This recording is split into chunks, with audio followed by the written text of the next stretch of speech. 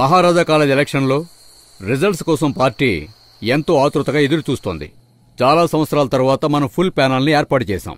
కేఎస్క్యూకి వ్యతిరేకంగా మన జెండా రెపరెపలాడుతూ గాల్లో ఎగరబోతోంది. అది మన ఫ్రెండ్ సుభాష్ నాయకత్వంలో. అందరికీ అభినందనలు తెలుపుతూ తరువాత మాట్లాడవలసిందిగా నేను జిల్లా సెక్రటరీ గారిని ఆహ్వానిస్తున్నాను. ఫ్రెండ్స్ అక్రమాలతోనూ రౌడీయిజంతోనూ మహారాజా కాలేజీని తమ గుప్పెట్లో పెట్టుకున్నారు మన కేఎస్క్యూ గ్రూప్. ఎదిరించే ధైర్యం ఎవ్వరికి లేకపోవడం వల్ల ఎదిరించిన వాళ్ళను కొట్టి కేఎస్క్యూ ఎన్ని సంవత్సరాలుగా గెలిచారు?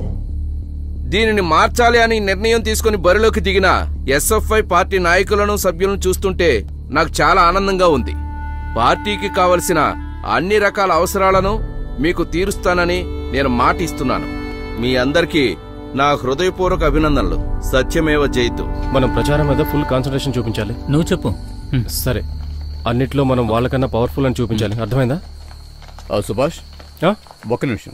ఒక నిమిషం ఉంటుంది రేయ్ మీరు వెళ్ళండి. నేను వచ్చేస్తాను. ఆ, ఆ, సుభాష్ నువ్వు అక్కడే ఉండి నేను వస్తా.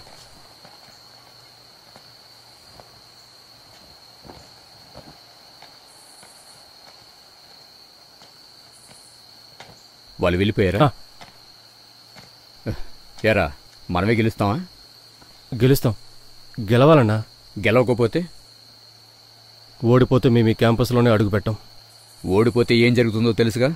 మహారాజా కాలేజీలో ఎప్పటికీ ఎస్ఎఫ్ఐ అనేది ఉనికే ఉండదు. ఇప్పుడు మనం ఓడిపోతేనేగా ఆ సమస్య అన్నా ఇప్పుడు నేను నీకు పార్టీలో చెప్పిన విషయాలు చెబుతాను. పార్టీ ఏం చెబుతుందంటే మన కాలేజీలో స్ట్రాంగ్గా నిలబడాలంటే దానికి రక్తం చిందించాలని చెబుతోంది. మీరేం చెప్తున్నారో నాకు అర్థం కావట్లేదన్నా. రే పార్టీ ఏం చెప్తుందంటే పాల్ రక్తాన్ని కోరుకుంటుంది. ఏం మాట్లాడుతున్నావన్నా? ఓహో, వాడి కాకపోతే నువ్వు. మీరిద్దరు తప్పుకుంటే నేను. మనం పార్టీ నిర్ణయాన్ని గౌరవించాలి. మనం ఎలక్షన్లో గెలవడానికి. ఆలోచించు? నేను మళ్ళీ వస్తాను.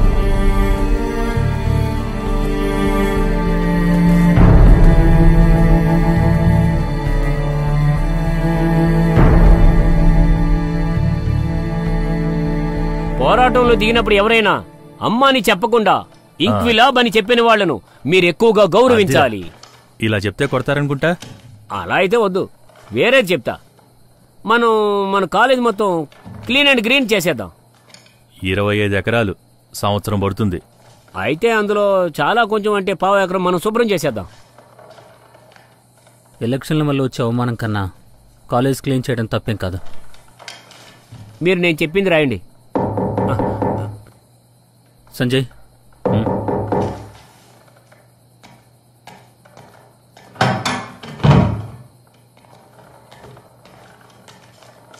ఒరే సుభాష్ నేను కొత్తగా ఒక స్పీచ్ రెడీ చేశా.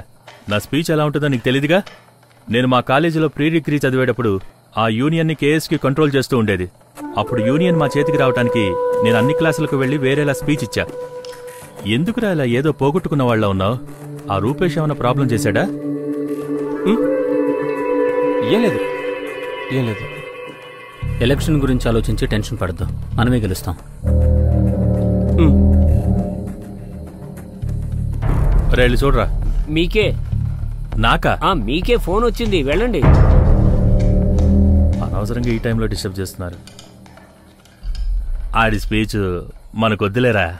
పైగా పైనూరు కాలేజీలో వాళ్ళ ఒకటి రెండు మూడు అంకెలు రాసే వాడి ఫేస్కి ఎవరు ఓటేస్తారు? వాడికి ఒక నాటకం కానీ డ్యాన్స్ కానీ పాటల పోటీ ఇవే కదా బెస్ట్. సుభాష్ నీకే ఫోన్.